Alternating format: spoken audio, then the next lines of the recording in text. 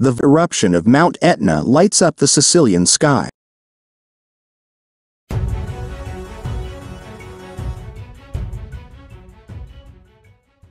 Mount Etna, the largest of Italy's three active volcanoes on the island of Sicily, erupted again on Sunday. Italy's National Institute of Geophysics and Volcanology, INGV, reported on the eruption, saying it began with a lava fountain that spewed out more than 14,700 feet into the air.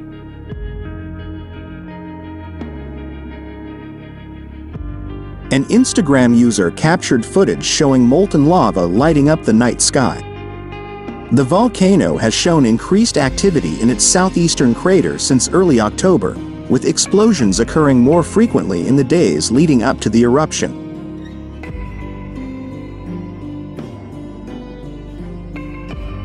Even though it was covered by thick clouds after sunset, a lava fountain was visible among the clouds. The eruption was accompanied by loud booms and explosions that echoed from the volcano.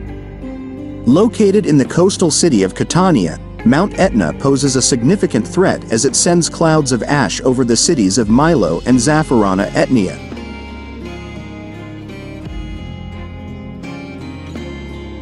This eruption follows a pattern of increased activity, similar to what was observed in August when another eruption caused the closure of Catania Airport due to ash in the atmosphere, posing a flight hazard. Volcanic ash poses a major risk to aircraft, and its eruption could disrupt international flights.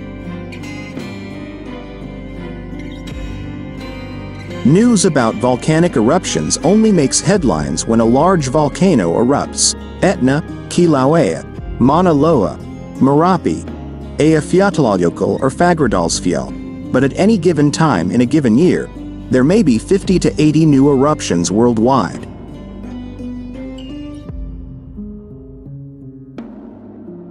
Dot.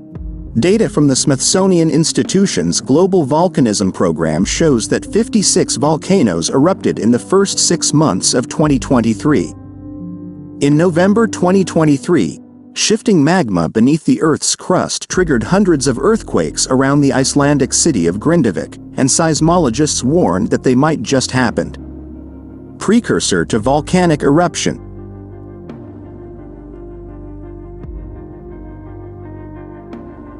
Mount Etna in Italy, which is one of the most active volcanoes in the world, also caused public concern because it began erupting a year earlier. So, let's take a closer look at Etna. Mount Etna is the most active volcano in Europe and one of the largest in the world.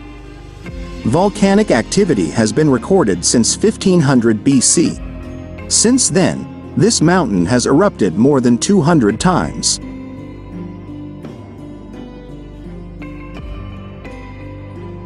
The current eruption at Etna has caused the cancellation of flights at the nearby Catania airport.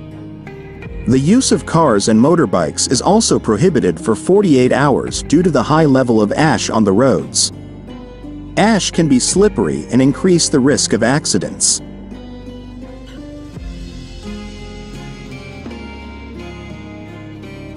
One of the most famous long-term eruptions is the Kilauea volcano in Hawaii.